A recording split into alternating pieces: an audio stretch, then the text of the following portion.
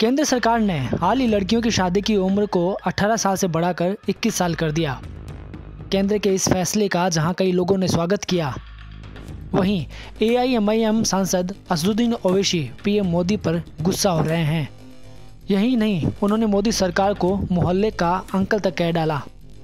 ओवैसी ने अपने ट्वीट में लिखा कि, महिलाओं के लिए शादी की न्यूनतम उम्र को 18 से बढ़ाकर 21 साल करने के प्रस्ताव को मोदी सरकार ने मंजूरी दे दी है।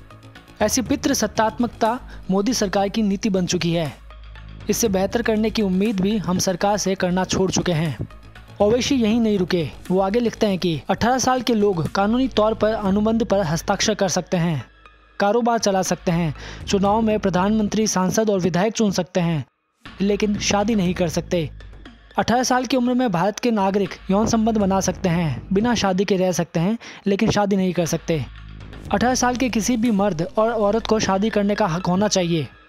कानूनी तौर पर 18 साल की उम्र के लोगों को बालिक समझा जाता है और उन्हें अपने निजी ज़िंदगी को अपने मर्ज़ी से जीने का हक है। तो शादी के मामले में ऐसी रोक टोक क्यों?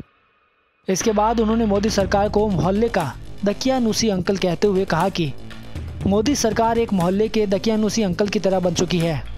नागरिक क्या खाएँगे, किससे और कब शादी करेंगे, किसे पूजेंगे, इन सब में सरकार की दखल अंदाजी बढ़ती जा रही है। सरकार को, नौजवानों को नाबालिग बच्चों की तरह देखना बंद करना चाहिए। उन्हें अपनी ज़िंदगी से जुड़े अहम फैसले खुद लेने की इजाज़त होनी चाहिए। बहरहाल, ओवैसी के इस बयान पर आपका क्या कहना है? अपनी राय हमें कमेंट करके ज़रूर बताएँ। टीम, खबर अपडेट।